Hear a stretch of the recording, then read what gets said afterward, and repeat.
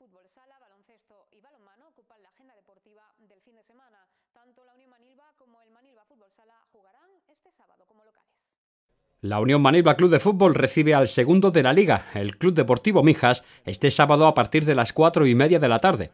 Los manilbeños que volvieron a caer a los puestos de descenso necesitan sumar para volver a salir de esa situación. Enfrente estará el perseguidor del Malaca, que viene de meterle 8 al Archidona. Los locales, que recuperan jugadores para este partido, no se lo pondrán nada fácil a este complicado rival. También en fútbol y en categoría pre-Benjamín, este sábado a las 10 y cuarto, Estepona Fútbol Base Unión Manilva. Además tendremos jornada de Liga Educativa que enfrenta las escuelas de fútbol de Coín y Manilva mañana a las 11 y media. En Benjamines, también el sábado, Estepona Fútbol Base Unión Manilva B a las 12 y Unión Manilva Fuengirola Los Boliches a las 3 menos cuarto. El equipo infantil recibe a las Chapas en Las Viñas este sábado a las 7 menos cuarto de la tarde. Además, en categoría Alevín, Estepona Fútbol Base Unión Manilva B el sábado a la 1 y en la jornada del domingo Ronda Unión Deportiva Unión Manilva a las 11.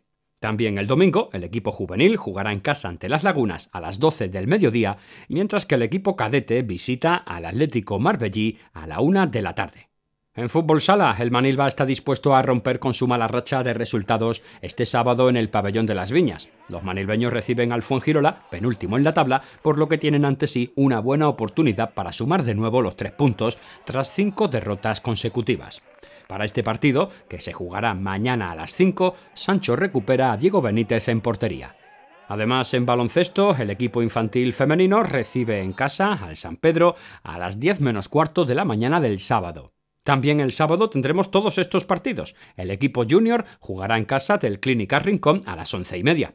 El conjunto Premini Basket jugará fuera de casa. Lo hará ante Asunción a la una y media de la tarde. En junior femenino, Maristas Manilva a las 5 y en cadetes Alora Manilva a las cinco y media.